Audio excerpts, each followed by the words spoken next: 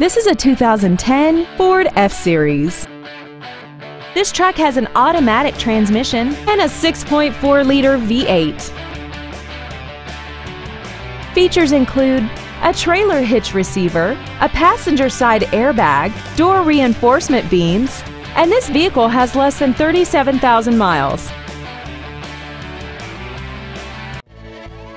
Todd Hunzeker Ford is dedicated to doing everything possible to ensure that the experience you have selecting your next vehicle is as pleasant as possible.